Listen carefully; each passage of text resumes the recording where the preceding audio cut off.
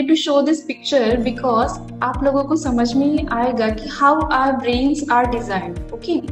if you look towards the picture, in the very right corner you can see two, uh, you know, a, a gentleman and a woman were standing. So we think they were together. Okay, and uh, in some extent, uh, the person, the, the the group of people who were sitting in the left corner and one is clicking the picture we think they were together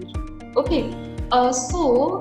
our brains are designed in such a way that similar things were taken in the together in togetherness okay so maybe वो शायद जो यहाँ पे खड़ा है वो शायद पास हो रहा होगा वहाँ से जबकि ड्राइंग ये बनाया गया पिक्चर ओके okay? शायद वो साथ में ना भी हो सकते हैं और maybe that lady is waiting for her daughter who is coming with her need ऐसा भी तो हो सकता है। Okay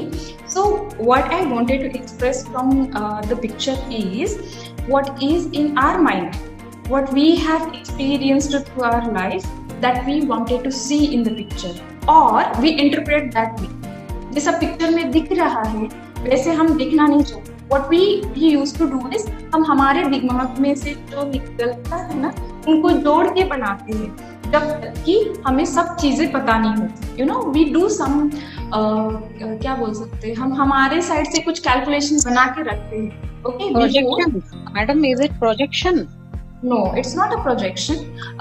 but हम एक पिक्चर बना के रखते हैं। We look towards the completeness of the picture okay अगर आपको बस दो इंसान दिखा देंगे तो what you will do you are not able to you know elaborate ये ऐसे ऐसे कपड़े पहने दैट्स इट उसके अलावा आप कुछ नहीं बोल पाओगे शायद ओके सो जब हमारा हम किसी भी पिक्चर को देखते हैं we look towards a picture we look towards the totality of the picture you feel अगर हम आपको ये सी साइड दिखाया ही नहीं गया, बस लोगों को दिखाया तो what you will think they may be on the road they may be in a desert okay so feelings were changed okay अगर पिक्चर पूरी तरह से दिखा दी गई तो हम लोग बहुत ज़्यादा आइडेंटिफाई कर पाते हैं you know you you you are talking about their dressing sense you are talking about the weather condition which are not express their picture देख के तो वेदर कंडीशन नहीं समझ में आती ना that we have imagine right so again the they were relaxing mood उनका mood भी हमें पता चल गया। बाय बिकॉज़ हम खुद जाते हैं रिलैक्सेशन पाने के लिए ऐसी जगह पे correct So what I'm telling, our brains are designed such a way that we try to observe things, we connect them to each other और एक मीनिंगफुल उसमें से कुछ एक स्टोरी बना के रख देते हैं। Okay this is done by us in you know very conscious way okay there are maybe different approaches आप सबके अप्रोचेस uh, अलग अलग हो सकते हैं। Why because you have seen other things आपका पास्ट जिस तरह से है आपको जैसे जैसे एक्सपीरियंसेस आए हुए हैं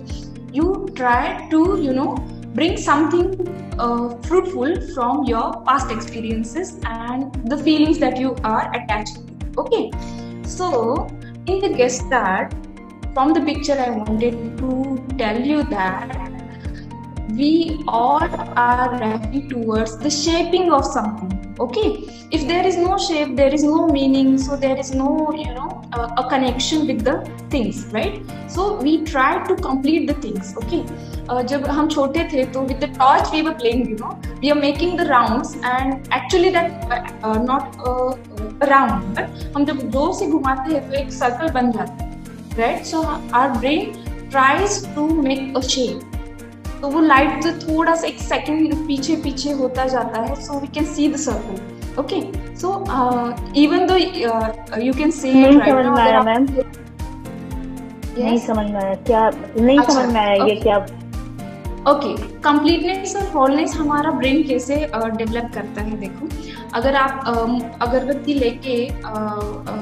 पूजा घर में हो और लाइट चली गई if you are making a round